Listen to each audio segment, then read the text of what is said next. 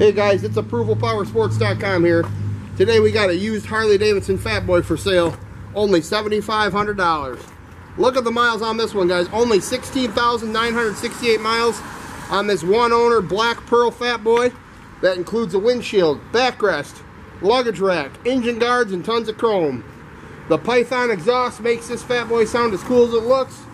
Just been serviced, inspected, and ready for the open road. All for only 7500 Don't miss out on this one, guys. We got guaranteed financing. Give us a call today and you can ride today.